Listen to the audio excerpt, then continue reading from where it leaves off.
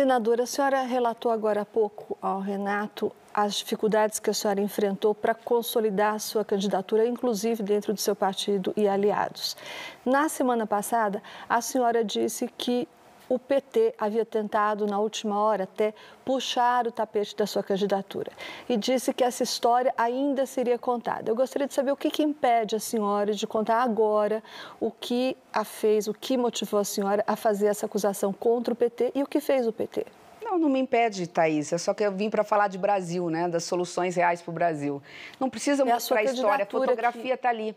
A fotografia está lá. O a presidente falou deu a sobre senha. As dificuldades, é, eu estava só querendo é, não, que a senhora esclarecesse. O, o presidente deu a senha. Olha, tem que ficar de olho. A Simone não é fora, não é carta fora do baralho.